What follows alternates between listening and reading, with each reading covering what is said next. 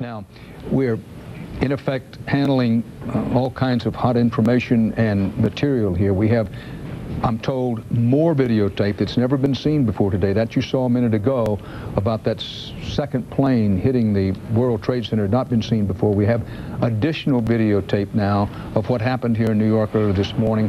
Watch this. This is, I haven't seen this before. I'm seeing it for the first time as you do. The first building hit at high, at high floor by the first plane is in smoke. The second building has just been hit with a plane.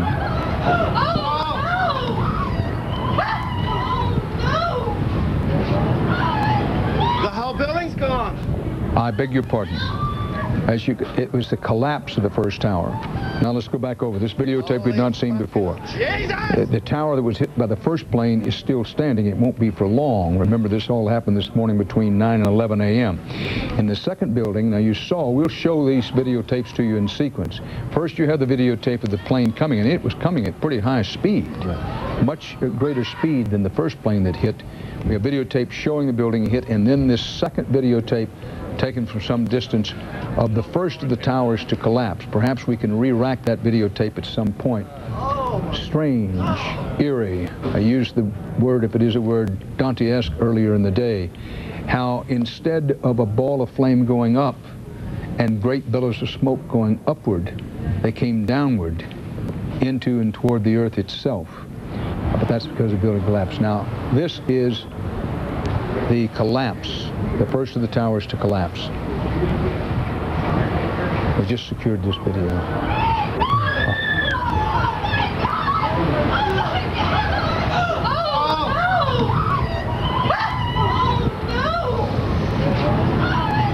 The whole building's gone. The whole building's gone. Indeed. Holy fucking Jesus! Do apologize for the language on the videotape. Um,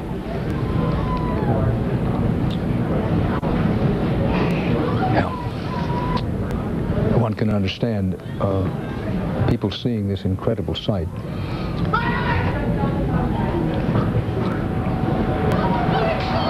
And when you see this, you're reminded why everyone in authority is saying we should be prepared for eventually finding out many dead, many seriously wounded, and at this hour, as night has not yet fallen, but begins to creep in on New York City, there are people trapped in the rubble.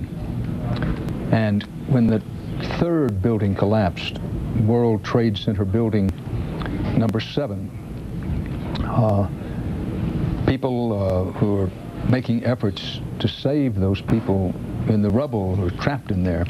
Some of those people uh, were in peril as that trade center building number seven collapsed within the last hour, hour and a half. Now what you're going to see next is videotape of the second World Trade Center building collapsing from a different view than you've seen it before. This is again new videotape. One of the World Trade Center buildings has already collapsed. The second, the actual first one to hit by the plane is still standing. Is a smoking ruin in its floors.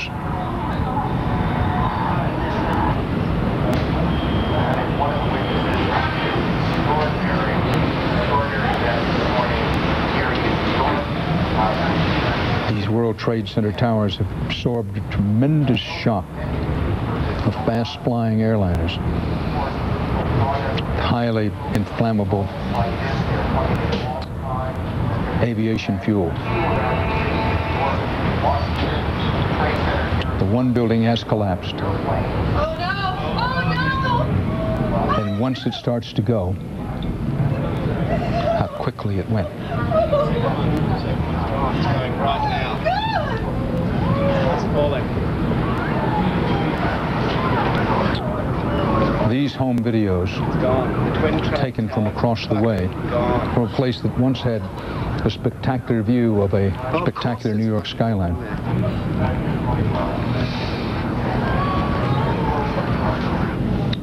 And the smoke told the story. Scott Pelley will bring us up to date on the situation in lower Manhattan. Scott, it's an unsettling moment to see, again, different views of those buildings collapsing and indeed the aircraft hitting the second building. But what's the situation down there right now? Dan, the smoke that you see rising behind me now is from World Trade Center building number seven, which collapsed about 15 minutes ago. This is a, a, very large building. It's 47 stories tall, at least half a block wide. This would have been a catastrophe in its own right, Dan. Uh, the building has been on fire all day since the initial attack about an hour ago. I was down there with a CBS News camera crew, and we were talking to firefighters and police officers. Building number seven was completely involved in flame. Flames were shooting out of the building. Large panes of glass were falling into the street. The firefighters explained that there was nothing they could do to try to put the fire out because it was just simply far too dangerous. And they warned us an hour ago that the building might collapse. And indeed, that is what has come to pass. Apparently, some of the city's emergency operations were located in that building. The fire department is telling us now that they have lost some of their communications at this point. The building, of course, being on fire, being at the scene of the attack, had been evacuated much, much earlier. There was no one in the building at the time that it collapsed about 15 minutes ago. However, I will tell you that when we left there an hour ago, there were several New York City police officers and firefighters down there making sure that no one else came into the area. Dan? Scott Pelley on the scene reporting live uh, from lower Manhattan. Now we're going to show you again videotape of World Trade Center Building 7. This is the one that just collapsed within the last hour and a half, uh, two hours at the outside. This was a 47-story tall building. Uh, this is the scene on the ground just after this building came tumbling down. And yet new bellows of the horrible smoke. And the stench from the smoke began to fill lower Manhattan all anew. Clear shot, please. Right, clear shot.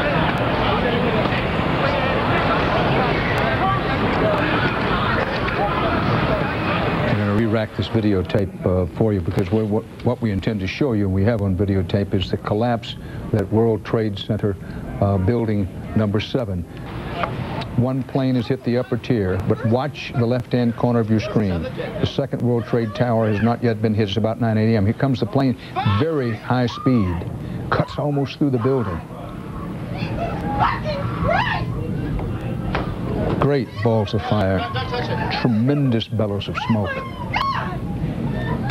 Voices you hear in the background, the people in the home or the place where these pictures were taken.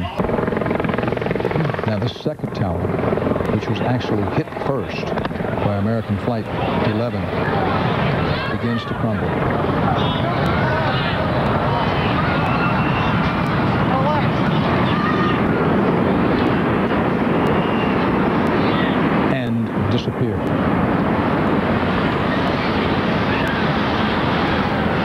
Since the, the most recent collapse, which happened just a short while ago, Building 7, a 47-story building as part of the World Trade Center complex, collapsed. That building had been, we were told, completely evacuated. But the fate of people on the ground, including rescue workers as it came tumbling down, we simply don't know. But it had been threatening to collapse, had been on the verge of collapse for a long while, so perhaps, perhaps most of the area had been evacuated. But who could have anticipated this kind of incredibly dense and fast-moving smoke, which covers many blocks in New York?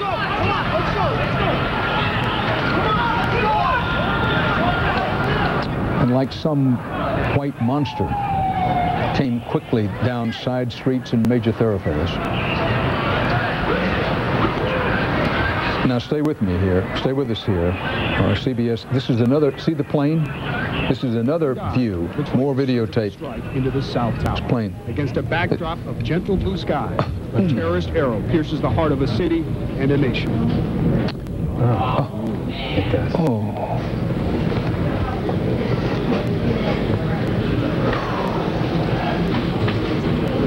Those two sequences we should see again, One more horrifying than the next.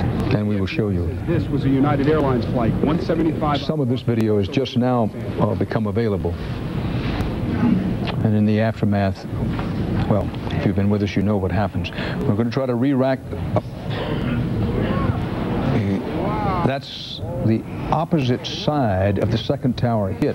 You know, we had different views during the day, but this was photographed from that side of the building. Now we're going to recue that sequence of videotape. This includes new videotape material obtained by CBS News over the last hour, hour and a half.